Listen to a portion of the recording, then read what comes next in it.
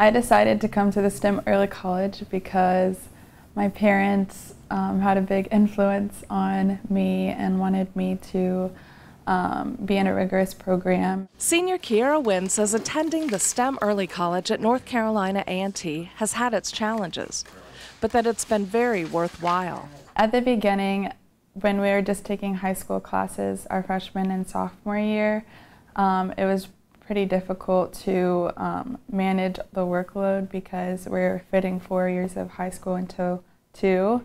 So um, it was pretty difficult, but it taught me a lot about time management and everything. And now that I'm taking college classes and getting ahead on credits, I'm really grateful that I persevered through those two years. And now I um, have a lot more um, skills that to, towards college classes and things like that. Managing her time has been a critical skill for this talented student who continued her love for athletics throughout high school as well. There's the opportunity to play sports at our home schools um, that we would go to if we weren't in a magnet program.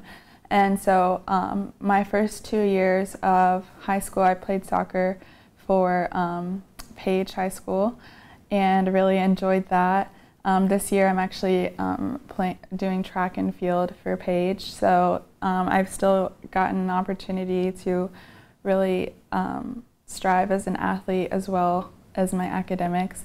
And I also um, am a really competitive soccer player um, in the club environment. Her success in and out of the classroom has led to a bright future for Keyera as she's been awarded a scholarship to play soccer at the University of Maryland.